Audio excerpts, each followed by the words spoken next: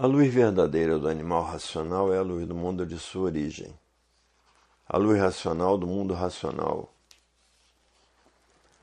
Conhecimento de retorno da humanidade ao seu verdadeiro mundo de origem, o mundo racional, por meio da energia racional, que é o faz a ligação do ser humano ao mundo racional. Universo em desencanto, imunização racional. Volume 421 do Histórico a complementação da cultura racional. Complementação da escrituração supletiva, que é o histórico completivo da ressurreição de toda a humanidade.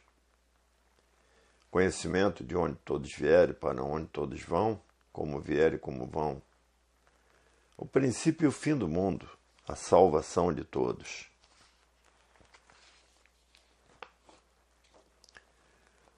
O mundo hoje passando para a última transformação, que é a transformação do seu verdadeiro estado natural, que desmaterializando a energia que está materializada como máquina do raciocínio na glândula pineal, depois dela desmaterializada, está pronta para voltar para o seu verdadeiro estado natural, que é no primeiro mundo o mundo racional depois de desmaterializada pela cultura racional.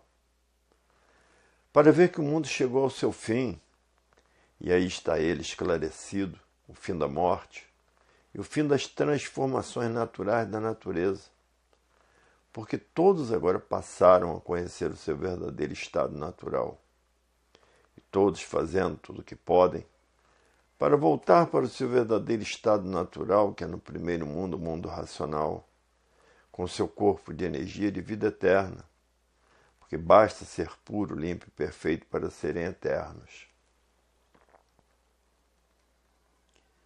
Hoje todos que já passaram a se conhecer estão tratando de desenvolver o seu raciocínio, porque não aguentam mais a vida da lapidação da matéria, não aguentam mais o sofrimento e os tormentos da vida da terra e por isso hoje estão tratando de desmaterializar essa energia que está materializada na glândula pineal, que é a máquina do raciocínio, para que depois dela desmaterializada volte para o seu estado natural, porque ninguém está aguentando mais a vida do pensamento e da imaginação.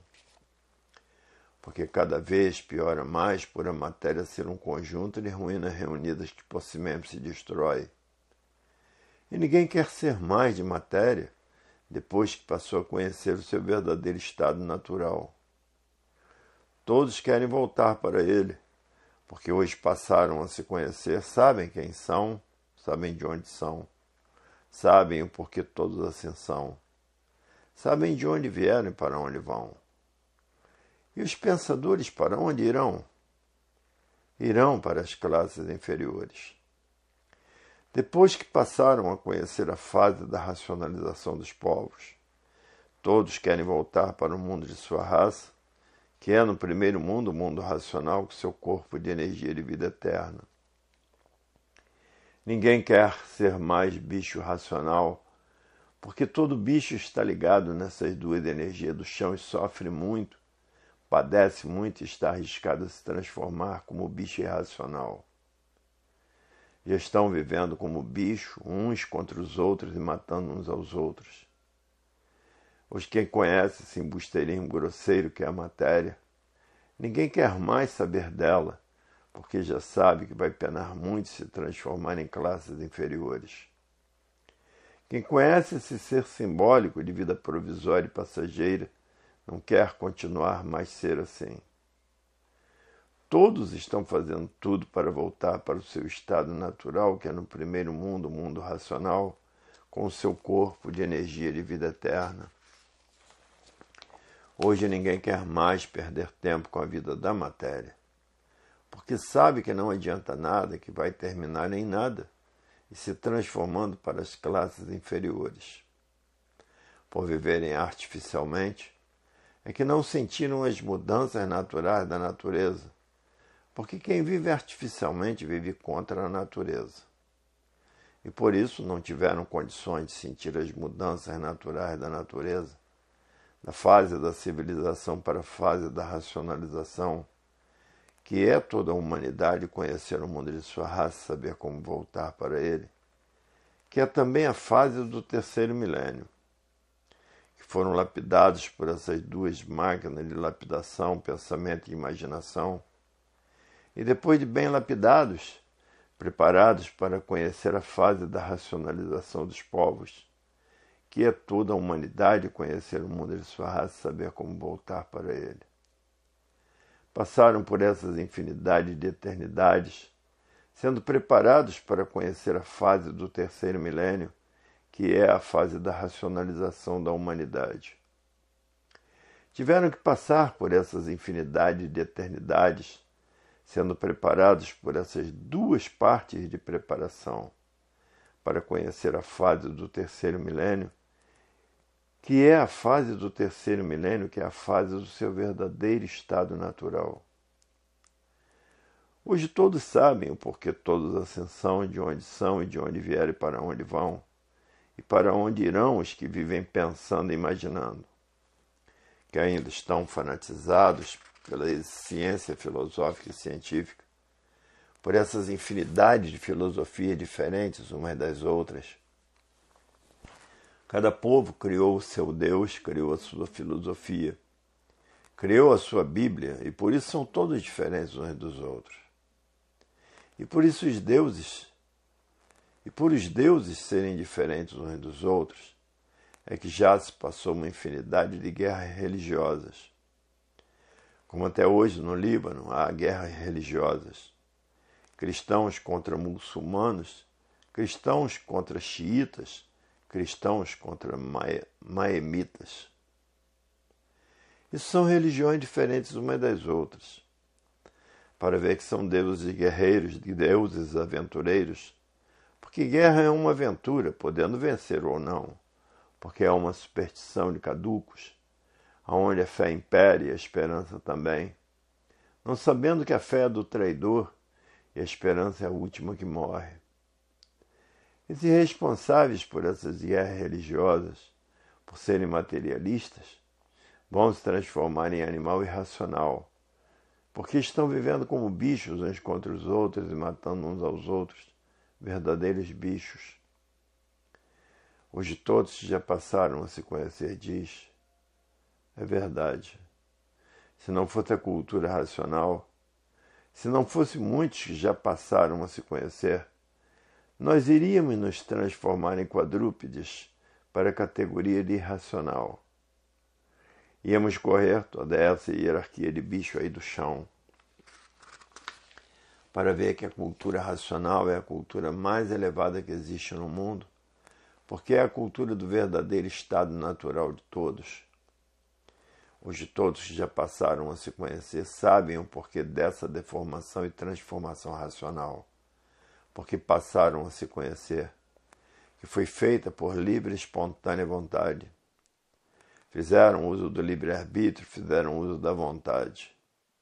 Não foi por falta de serem chamados a atenção. O verdadeiro Deus cansou de chamar todos a atenção, mas fizeram mau uso do livre-arbítrio, que dá expansão a todas as vontades pela liberdade que Deus dá a todos de escolher o que quer. Porque no mundo racional, no mundo dos puros, limpos e perfeitos, não há coação de liberdade. Coação de liberdade é aqui na deformação racional. Aqui é que existe a coação de liberdade. Mas no mundo dos puros, limpos e perfeitos, não existe coação de liberdade. Todos têm o direito de dar expansão a todas as suas vontades.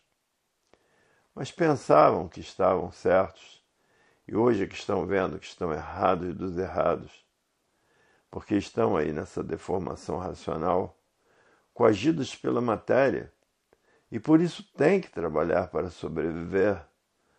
Tudo isso de livre e espontânea vontade. O verdadeiro Deus fez todos com a máquina do raciocínio.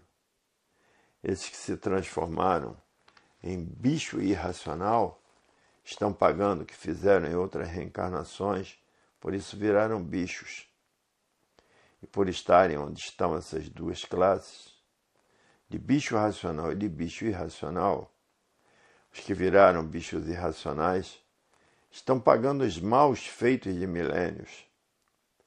Nem só viraram bichos, como também pedras, porque o bicho depois se transforma em pedra com as transformações naturais da natureza. Os de todos que já passaram a se conhecer diz: é verdade. Vamos tratar de desmaterializar a energia que está materializada como máquina do raciocínio na glândula pineal, que é a mecânica racional e que só será desmaterializada pela cultura racional. Depois de desmaterializada, essa energia que está pronta para voltar para o seu estado natural, que é um corpo de energia de vida eterna no primeiro mundo, mundo racional, o mundo que deu consequência a essa deformação e transformação racional. Hoje, todos que passaram a se conhecer sabem o porquê que assim são e o porquê que nesse mundo estão, porque conhecem o currículo de toda a sua trajetória dessa deformação e transformação racional. Todos nasceram do chão e passaram uma infinidade de fases de monstros diferentes umas das outras uma infinidade de fases selvagens diferentes umas das outras, e uma infinidade de fases civilizados diferentes umas das outras, que já foram gagos e muito atrasados, e que no tempo que ninguém tinha instrução eram guiados pelo temor. Por isso inventaram inferno, purgatório, céu, anjo bom, anjo mau. E todos que erravam eram chamados à atenção, dizendo: não faça isso, senão a sua alma vai para o inferno. Eram guiados pelo temor. Depois de uma infinidade de séculos, é que começaram a inventar letras e os algarismos romanos. Depois de uma infinidade de séculos, é que começaram a formar as palavras. E uma infinidade de séculos viviam gagos e ninguém sabia falar. Hoje não. Todos têm a língua bem desembaraçada, que falam até demais. Para ver que a humanidade é uma humanidade que vem sofrendo muito nessas 21 eternidades que passaram. Todos vêm sendo lapidados e preparados para a fase da racionalização dos povos, que é toda a humanidade conhecer o mundo de sua raça e saber como voltar para ele, que é a fase da mecânica racional do terceiro milênio Hoje todos que já passaram a se conhecer estão tratando de desmaterializar a energia do primeiro mundo, que está materializada no istmo do mesencéfalo, que é a glândula pineal. E que depois de desmaterializada pela cultura racional, está pronta para voltar para o seu estado natural, que é no primeiro mundo, o mundo racional, com o seu corpo de energia de vida eterna Hoje todos que passaram a se conhecer não perdem mais tempo com esse conjunto de ruínas reunidas que termina em nada.